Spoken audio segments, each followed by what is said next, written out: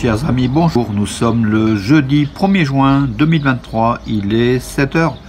Quelques news de l'Arménie, de l'Artsakh et de la diaspora arménienne. Tout d'abord, donc la lettre de Laurent Wauquiez, donc le président de la région Auvergne-Rhône-Alpes, adressée au président du, à l'Assemblée nationale, pardon, euh, et au Sénat, euh, dans laquelle Laurent Wauquiez, qui s'est déjà rendu en Arménie dans la région de Sunik, alerte l'opinion, euh, alerte la France justement sur le danger, le danger qui menace la population arménienne tant en Artsakh que dans la région de Sunik. Voilà, donc en fait, euh, euh, Laurent Wauquiez demande à la France une, position claire, nette et, forte pour la défense des Arméniens de l'Artsakh. Laurent Wauquiez, qui est un ami des Arméniens, pardon, la lettre de, Laurent Wauquiez était adressée avant tout au président de la République. Hein, voilà. Et puis il y a un, communiqué de presse des groupes d'amitié donc de France-Arménie à l'Assemblée nationale et au Sénat également euh, demandant, enfin de, alertant de la situation des Arméniens, tant en Arménie qu'en Artsakh.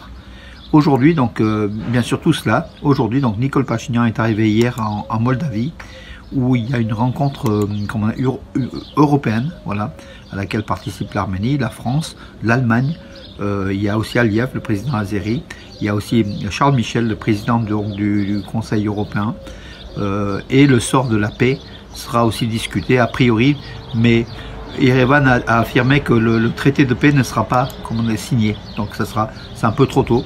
Il y a beaucoup de points euh, dans, sur lesquels, bien sûr, l'Azerbaïdjan et l'Arménie ne sont pas d'accord. C'est surtout l'Azerbaïdjan hein, qui, n'est pas d'accord sur beaucoup de points, qui existe beaucoup de choses. Voilà. Et puis, et puis j'ai reçu des messages donc de, des défenseurs de droits de l'homme en Arménie, puis des, des, des citoyens, des journalistes.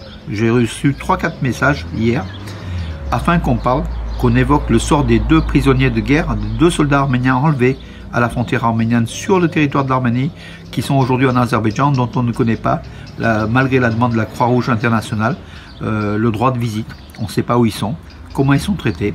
Voilà le sort des deux prisonniers, donc même pas des prisonniers, ils ont été enlevés sur le territoire de la République d'Arménie, de façon illégale bien sûr, euh, par l'Azerbaïdjan, qui a une nouvelle fois empiété sur le territoire, euh, euh, sur le territoire arménien tout simplement, hein, parce que ces deux prisonniers, ces deux soldats arméniens livraient des victuailles, de la nourriture aux soldats arméniens du front, et ils ont été enlevés derrière ce front. En fait, ils étaient derrière les positions arméniennes de défense. Voilà, euh, voilà, c'est un acte de terrorisme hein, de la part de l'Azerbaïdjan, c'est clair.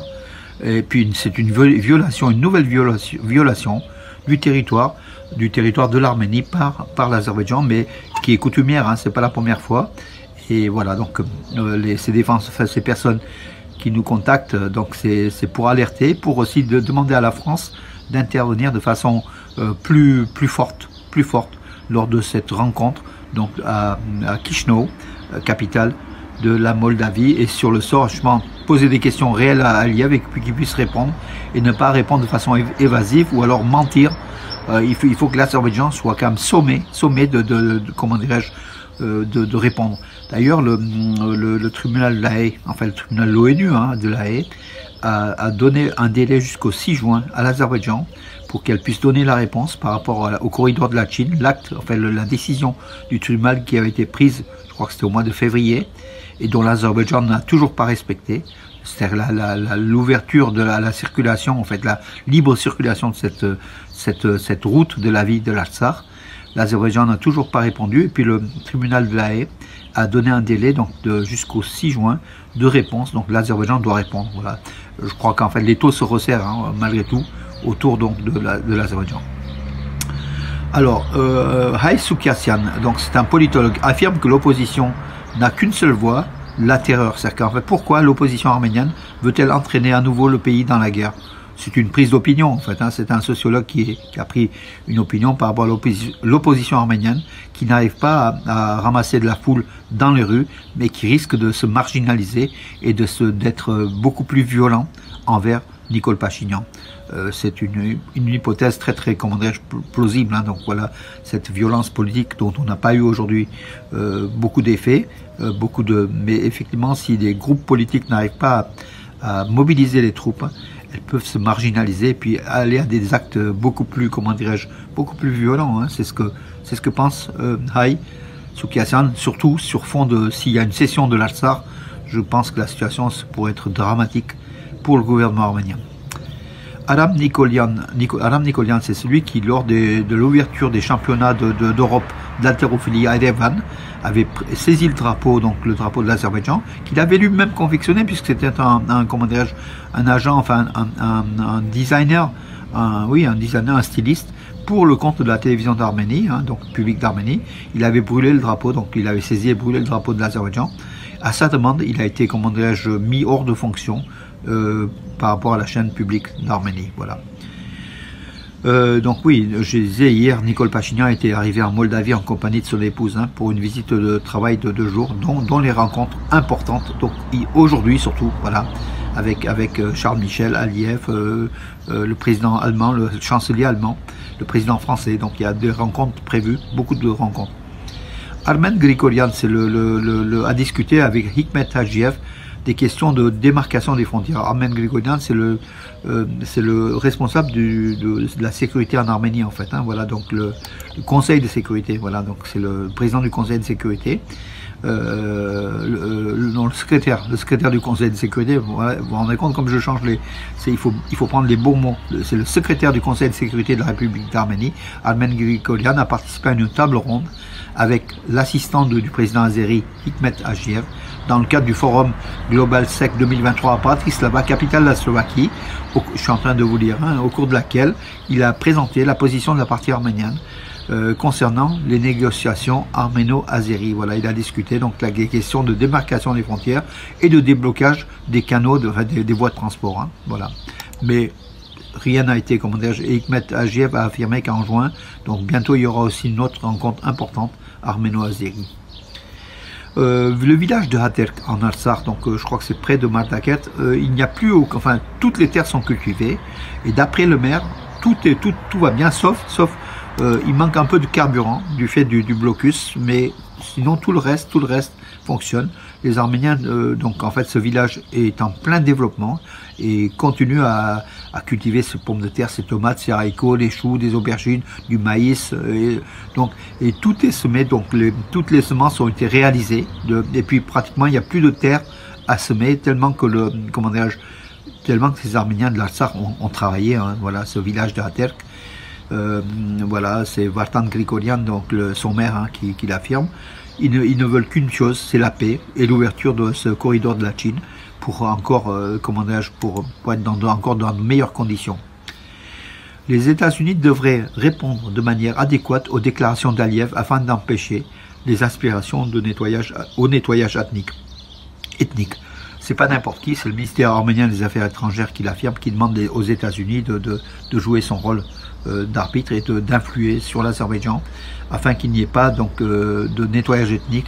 Et les propos d'Aliyev à la Chine, donc la semaine dernière, n'étaient pas de, nature à rassurer.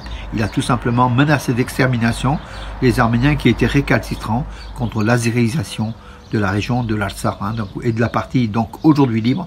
Et c'est sur cette partie aujourd'hui libre qu'Aliyev veut, encore mettre la main si les Russes le permettent, hein, aussi sur place, il y a 2000 soldats de paix russes. Mais bon, on ne sait jamais, il peut se passer très vite des, choses euh, euh, très délicates et très très rapides dans la région. Donc voilà. Euh, que dire d'autre? Écoutez, je suis en train de, voir s'il n'y a pas deux, trois autres actualités qui sont arrivées cette nuit. Alors, à part donc le, le Laurent qu'on salue, hein, donc toujours prêt à défendre euh, l'Arménie. Cette Arménie, il faut dire euh, chrétienne, hein, c'est un petit peu aussi le leitmotiv, c'est un petit peu le, le, fond de commerce, euh, pas le fond de commerce, c'est un peu l'idéal aussi de Wauquiez, une Europe judéo-chrétienne avec des valeurs. Et l'Arménie, c'est un pays de valeurs. Laurent Wauquiez a, a vu que l'Arménie, première nation chrétienne, était quand même aux avant-postes de, de, de l'Europe, de l'Europe tout simplement, que l'Arménie défendait une civilisation européenne qui était là, menacée, menacée. Euh, il y a 3-4 ans, on avait fait un voyage avec Wauquiez, c'était le même sentiment, il n'a pas changé d'un iota, sa détermination ferme à défendre les Arméniens au nom des valeurs, tout simplement. Ce que beaucoup de politiques français ont déjà renoncé. Bravo en tout cas à Laurent Wauquiez, qui n'a pas renoncé aux valeurs, et c'est important. Voilà. Après, on peut dire que ce sont des, positions électoralistes et tout le reste, mais nous, on aime ces positions électoralistes qui font plaisir aux Arméniens et qui défendent réellement les Arméniens en se rendant sur place, en faisant des déclarations et puis en aidant financièrement. Par exemple, la région de Auvergne-Rhône-Alpes aide la région de Sunic à hauteur, je crois, de 300 000 euros par an. Euh, c'est une très très bonne chose. on demande aux autres régions où il y a une population forte arménienne de faire pareil, hein, donc, et de prendre la défense des Arméniens autant que Laurent Wauquiez. Je ne parle pas du PACA, je ne parle pas de, des Hauts-de-Seine, enfin toutes ces régions où il y a quand même, on a, on a quand même des, politiques proches de, l'Arménie, il faut qu'il y ait aussi des actes. Laurent Wauquiez fait aussi des actes en plus des déclarations. Bon, ceci dit, je ne suis pas là pour faire sa propagande hein, aussi. Je suis pas, je suis pas ni payé ni, le ni ni ni le Sorol. En tout cas, merci Laurent Wauquiez, merci à tous les politiques français qui défendent l'Arménie. Et aujourd'hui encore, le sort des, deux soldats enlevés préoccupe beaucoup de nos concitoyens en Arménie, puisque c'est quand même c'est assez dangereux. Donc demain, ils peuvent faire pareil. Donc les Azéris peuvent aussi saboter le, front, saboter la paix. Et il faut alerter aujourd'hui, plus que jamais, la France qui doit jouer aussi son rôle euh, de grande nation, d'arbitre, pour la défense des, intérêts, de la défense de, la liberté, la défense des valeurs de, que, que, transmettent, que transmettent les Arméniens face à des agresseurs azéris. C'est pas manichéen, c'est pas noir contre blanc, mais en tout cas aujourd'hui, l'Arménie est attaquée sur sa frontière, l'Atsar est attaqué sur sa frontière. Ce sont des éléments de nature à faire pencher plutôt euh, du, coup, du côté des Arméniens au niveau de la défense. Donc avis à tous ceux qui m'écoutent, il y a aussi des non-arméniens qui m'écoutent, des politiques aussi qui m'écoutent. Avis, donc euh, il, faut, il faut bouger tout simplement, il faut des actes. On ne veut plus qu'il n'y ait que des déclarations, euh, voilà, des communiqués. Il faut qu'il y ait des actes. L'Arménie a besoin d'actes pour vivre. L'Artsar a besoin d'actes pour vivre. Voilà mes amis pour aujourd'hui. Écoutez, euh, oui, une information. Donc en fait, il s'est qualifié notre notre Garen Trachanov pour le troisième tour de, de, de Roland Garros. Et puis notre arménienne, alors euh, c'est Avanessian, je crois, enfin euh, la tennisiste donc euh, russe de 20 ans, 134e mondial qui avait battu le numéro 22 mondial et, s'est qualifiée aussi pour le pour le troisième tour. Donc elle a en au deuxième tour de Roland Garros pas des qualifications, le deuxième tour, elle, elle s'est imposée aussi. Donc voilà, on la verra aussi au troisième tour bravo à deux Arméniens de Russie, de, deux Arméniens russes qui avancent. Malheureusement, pour les 3 millions d'Arméniens d'Arménie, on n'a aucun, comment aucun joueur de tennis euh, de, nature à disputer justement euh, Roland Garros, parce que là c'est carrément Roland Garros, hein, c'est pas les qualifications. Et puis on suivra avec plaisir, avec plaisir ces, comment ces deux champions, ces deux champions. Euh, qui porte haut la couleur de l'Arménie et de l'Artsar. On l'a vu avec euh, l'Open d'Australie, on l'a vu avec Karen Rachanov, sa prise de position directe.